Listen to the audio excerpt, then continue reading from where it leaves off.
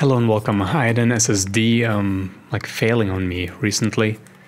I just couldn't boot from it anymore. Or maybe it was Windows failing. Who knows.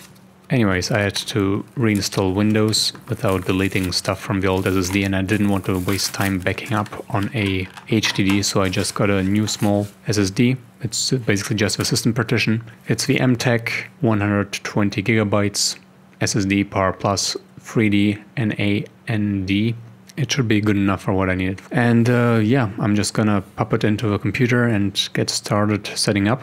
And then we're gonna make a speed test. As you could see, the packaging is really cheap, but so is this SSD. Alright, so I had to initialize the disk. I went with GPT and I formatted it in the next step using the basic settings as NTFS.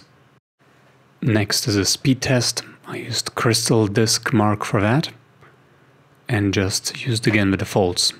This is sped up by, I think, 4000%. So we get 277 and 185 and 142 and 23 megabytes per second read. And in write, we get 253, 201, and then I get some error.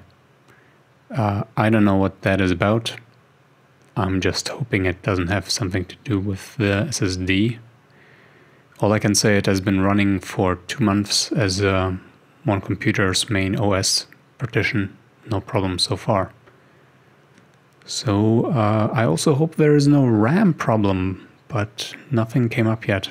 But if you get this error since using this SSD, please leave a comment so I know. Alright, so the last number was 136 and I just, uh, well, did the last step with a smaller size file. So who knows if these numbers are representative, but uh, the 27 well stayed kind of similar and then we get 57 on the right end of things do with these numbers what you will. Let me know if you think these are horrible. I'm at a stage where I'm just upgrading from HDDs, so getting the fastest SSD is not a concern for me right now. Thanks for watching. Give this video a like if it was at all useful. Let me know in the comments which SSD you got in the end, and have fun upgrading your computer. Until next time, ciao.